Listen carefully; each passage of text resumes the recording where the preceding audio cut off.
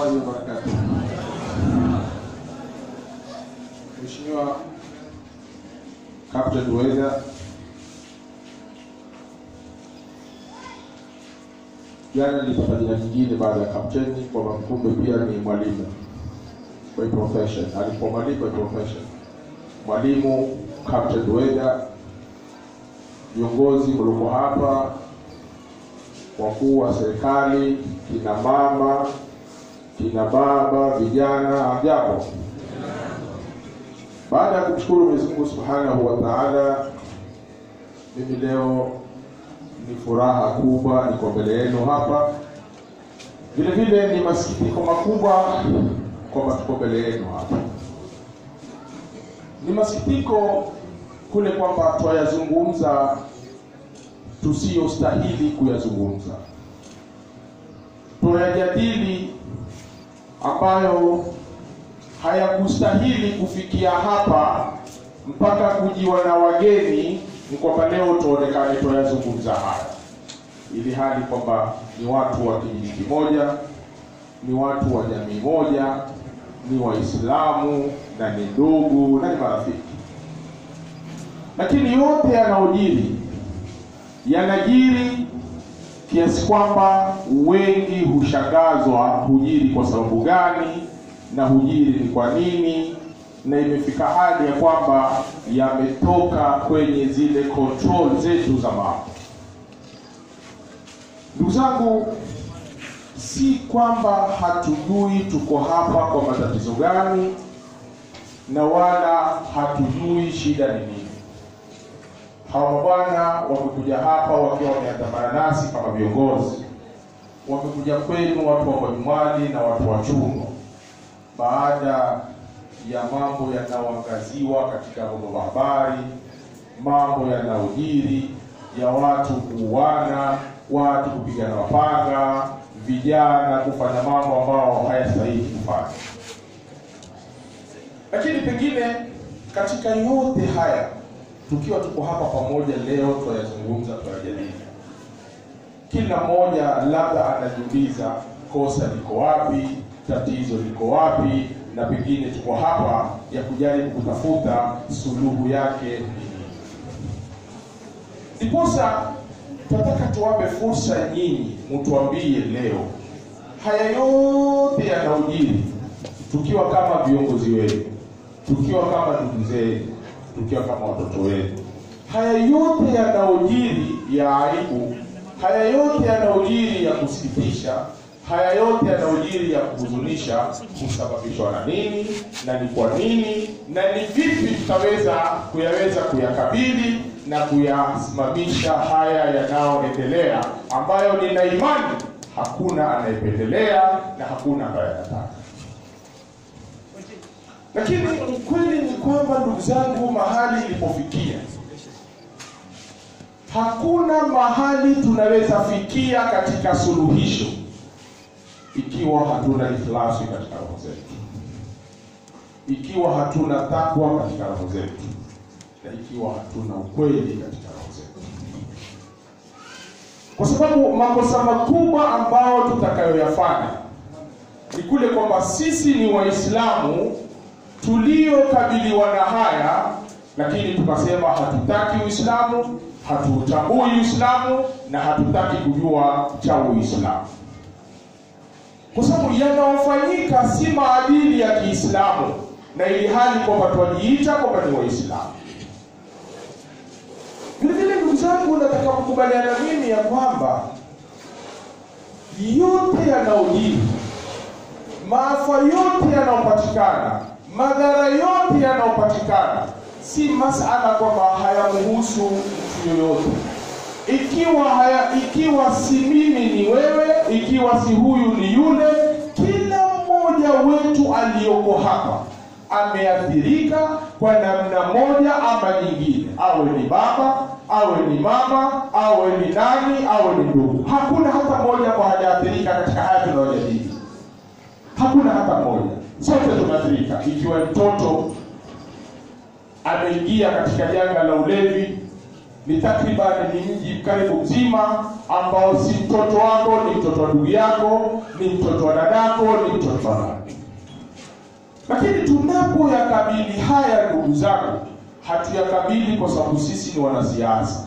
Tutakapoyakabili kwamba sisi ni wanasiasa, basi tutapotea daima na hatutoweza pata suluhisho. Na ikiwa haya tunayoyajadili na yaliyotukumba tutaweza kuyafuata kwa sababu ya siasa, ndugu zangu, yatabaki vile vile, nawaambia hapa, na hakuna litakalosuluhishika, kwa sababu kila mwanasiasa huja kwa sababu ya mahesabu yake ya kisiasa.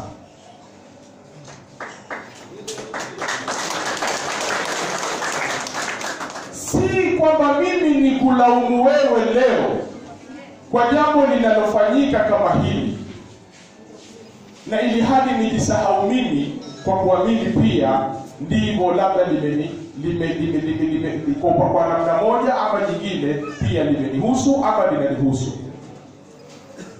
kwa sababu siku zote usimnyoshee mwenzako kidole ukisahau ya kwamba ukinyosha kidole kwa mwenzako kimoja, kuna vitatu vimekulenga wewe.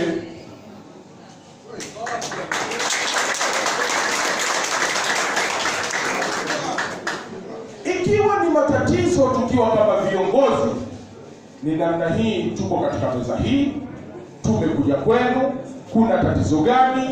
Tutasaidiana vipi? Tutafanya vipi? Lakini ukija kupanga mahesabu kwa sababu ya hili, mimi kesho nitapata kura ngapi? Ndugu zangu, ni athari itabaki iko pale pale, na mahesabu ya wanasiasa yatabaki kule kule kwenye siasa na haya ni mambo yametujiri. Ndiposa nikasema hatufai kamwe sisi kulijadili swala hili kwa mfumo wa kisiasa, kwa sababu ikiwa halikukupata wewe, limenipata mimi, halikunipata mimi, limepata ndugu yangu, na sote tunajuana hapa pamoja na chungwa, ndugu zangu, na si wapi saa hizi kuanza kuelezana hivi vile, kosa ni nani? Twajua wazi matatizo yako majumbani yanaendelea kuwepo, jamii imeathirika, vijana wameathirika. Lakini ndugu zangu, narudia tena kusema sisi ni Waislamu. Mafundisho ya dini ya Kiislamu tunajua ni kwamba tutakapokuwa tumeamua kufanya jambo ambalo tumeamua kwa amri ya Mwenyezi Mungu, basi Mungu naye atatusaidia. Inna Allaha la yughayyiru ma biqaumin, mpaka tuamue kwamba tunataka kulisawazisha hili, lakini sio mimi nalisawazisha hili kwa sababu nina mahesabu yangu, sio mimi nalifanya hivi kwa sababu nataka kumuudhi fulani. Haiendi. Lazima tuyakubali matatizo tuko nayo. Vijana wameathirika, tutawasaidia vipi vijana? Tutawasaidia vipi wazazi? Hakuna mzazi mwenye raha kumwona mtoto wake ukubali usindia. Hakuna mwenye raha hiyo, hakuna. Hakuna mzazi mwenye raha amwonapo mzazi wake amaona mtoto wake amekwenda kufanya maafa fulani, lakini tarudi pale pale kwamba mzazi ni mzazi, na kwa sababu ya mazingira yetu, kila mmoja tusema, kila mmoja kwa lake. Tutembea kwa mfumo huo tukisahau mfumo wa namna ya dini inavyotufundisha. Mimi leo ni kiongozi wenu, ni mbunge wenu, nimekuwa na nyinyi kwa siku nilizokuwa nazo, lakini nitakuwa na wadanganya pakubwa. Nikija kuambia kwamba mimi nitasuluhisha hawa matatizo yenu, njia pekee ya kusuluhisha matatizo yenu, ndugu yangu, niende nizungumze na na na, na, na brigedia wa wa wa, wa nizungumze na brigedia wa, wa, wa, wa jeshi. Alete jeshi hapa fagie. Hakuna suluhisho nyingine, hiyo ndio njia pekee yake, kwa sababu ikiwa mimi sitaki kuona, sitaki kusikia, na ni watu wangu, njia peke yake ni katuko jeshi na sidhani kama ni suluhisho hilo. Kwa sababu atakayefanyiwa ni mamangu Bwana Sharifu yuko hapa, atakayefanyiwa ni ndugu zangu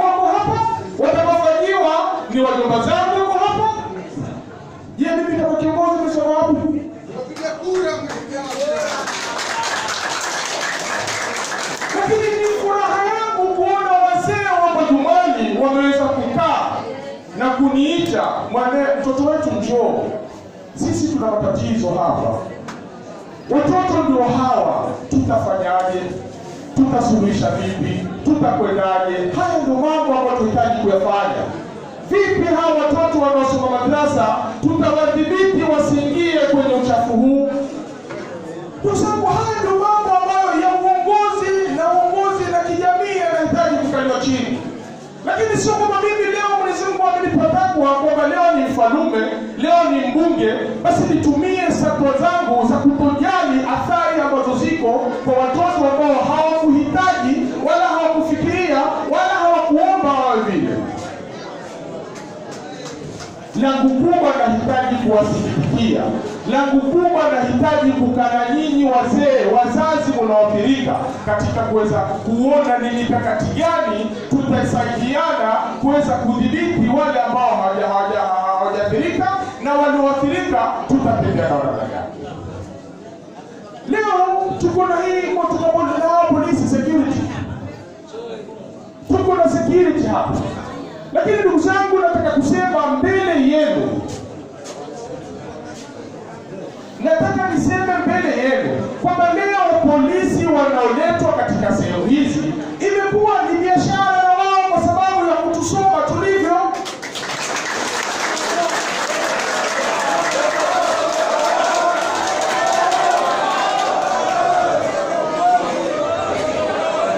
Mimi nataka niwatolee mfano hapa kwa nyumbani,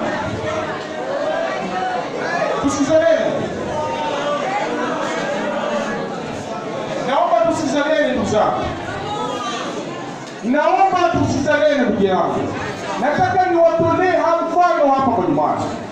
Kwa jumani hili, kama umesahau, waliingia polisi wakapiga watu wakafanya kila kitu. Adibini uko hapa kama utatokea ushahidi shahuda. Mmoja aliathirika katika hayo ni shemejio anauza duka.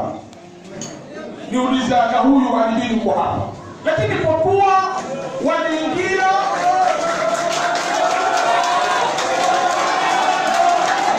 wakafanya tukahakikisha tumefuatizia haki zetu na tukaipata haki yetu.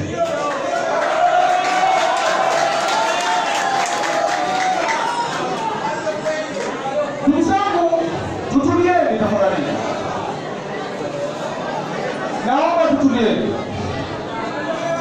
Ndugu zangu, leo hii leo hii naomba msiseme tafadhali. Ndugu zangu, leo hii kila unapokaa kila unapokaa yatajwa Pwani, yatajwa Pwani. Jamani, naomba tutulizeni, tusikize tunazungumza tafadhalini, tafadhalini, naomba tutulie. Leo hii kila tunapokaa yatajwa Mbojumali, Mbojumali, Mbojumali wana ma- maovu haya, Mbojumali wana maovu yake, lakini kisha hurudi wakazungumza mbali ya maovu walionao Mbojumali kwamba wana mtu ambaye anawaprotect na maovu yao ambao ni mbunge wao.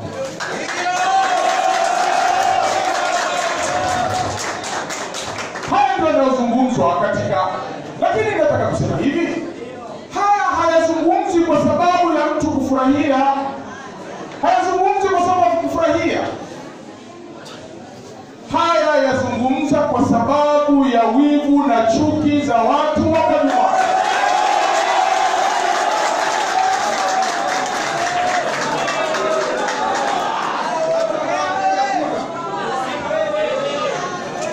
Ndugu zangu, mimi nataka niwanasihi maneno nitakayofuata kuyanena. Kwa kumalizia, nitazungumza tena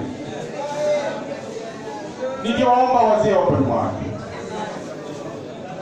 nikiwaomba wazee wa Pwani na ndugu zangu wa Pwani, mimi nimezaliwa hapa, nimeinukia hapa, nimecheza hapa, mamangu yoishi hapa, na Mwenyezi Mungu akanijalia nikawa kiongozi wenu kuanzia 2013. Hakuna asiyekajui wa historia ya uongozi na kwa historia ya nchi ya Kenya kuanzia ipate uhuru, Mpojumwani kilikuwa ni kijiji ambacho kimetukwa kwa mambo mengi sana. Hakuna soka hili, lakini mimi kwa kuwa niko kwenye siasa na kwa kuwa ni kiongozi, moja ambalo nakubaliana kama policy ambayo niko nayo ni demokrasia. Demokrasia ni uhuru wako wa kusema kwamba mimi ikifika miaka mitano nitampa Sharifu kura ama simpi. Hiyo ndio demokrasia yako, lakini ninachoomba ni kwamba kutokana na matatizo ambayo tuko nayo, ndugu zangu, kama nilivyosema, yametuathiri sote, tunahitaji kukaa kama watu wa Pumwani, tunahitaji kuendelea kukaa kama watu wa Pumwani, kuendelea kukaa kama watu wa Pumwani na kuondosha tofauti zetu.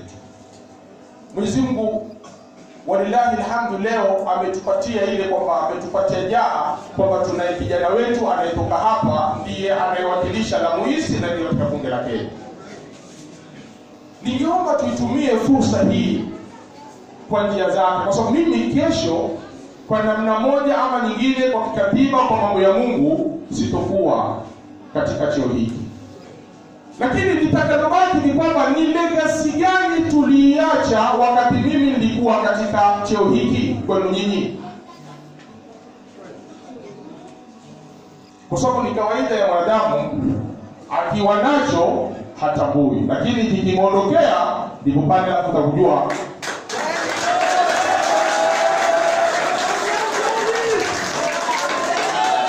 lakini mimi ndugu zangu, nataka niseme mbele yenu wakati Mwenyezi Mungu aliponijalia kuwa kiongozi wenu na nyinyi kuweza kuwa nami kwa sababu hiyo, nilishika mswahafu nikasema niko tayari kuwatumikia jamii yangu ya Lamu Mashariki, na shahidi ni Mungu wangu kwamba ajua niko tayari kuwatumikia na tuko tayari kushirikiana na jamii ya Lamu Mashariki kwa sababu ya maendeleo ya watu wetu. Kwa hivyo ningewaomba watu wa hata kama una tofauti zako za kibinafsi na Mheshimiwa Sharifu, tuangalie huruma na hawa vijana, tutawanusuru vipi kesho sisi mbele ya Mwenyezi Mungu tutapata kuulizwa.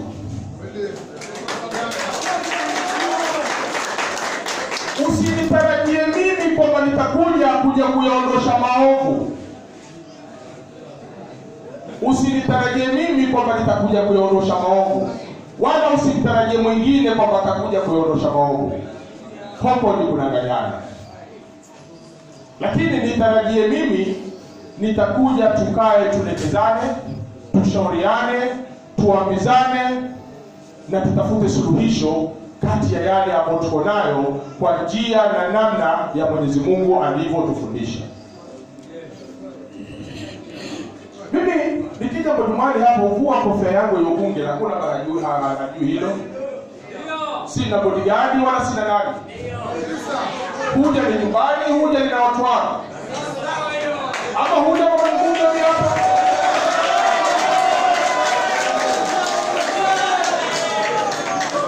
Matatizo ya Mbojumani, matatizo ya Mbojumani hayanifiki mimi ama hayanipati mimi kwa sababu ni mbunge, yananipata mimi kwa sababu ni mtu wa Mbojumani,